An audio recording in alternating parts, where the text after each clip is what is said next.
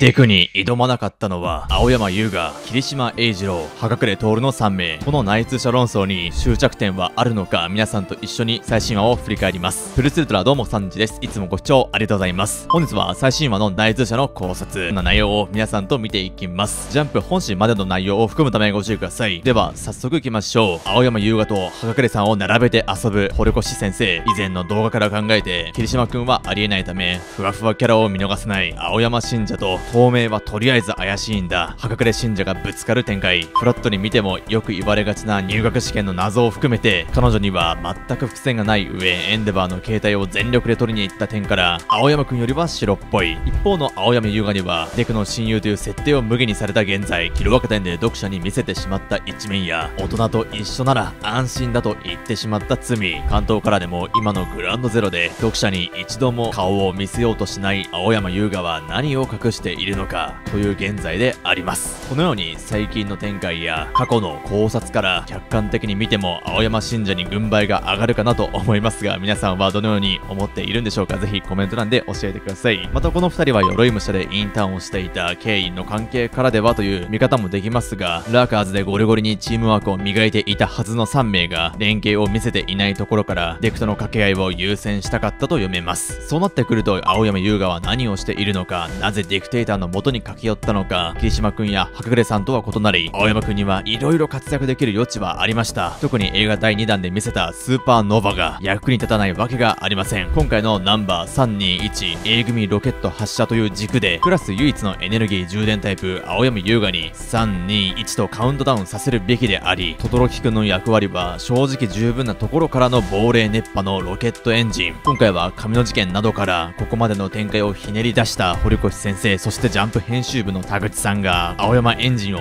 思いつかないわけがありません。さあ、堀越先生たちは青山優雅で何を企んでいるのか、またそういう意味では、先生が名前を挙げたセロや庄司君、うららかさんはこれからこれ以上の読者にどんな活躍を見せてくれるのか、ここも大注目。また最後に内通者に関して考察は楽しければ何でもいいと思っているため、異論は何でも認めるスタンスですが、それでもいいから小三治の考えを教えてくれという方もコメント欄で多いので、えー最後まで見てくれた方に向けてお答えすると、僕小三治は青山優雅、そしてデクの無自覚説以外の異論はないかなと考えたりしています。本日のご以上となります。最後までご視聴ありがとうございました。よろしければコメント欄にコメントお願いいたします。またチャンネル登録と高評価もお願いいたします。それでは次の動画でお会いしましょう。真相がバイバイ。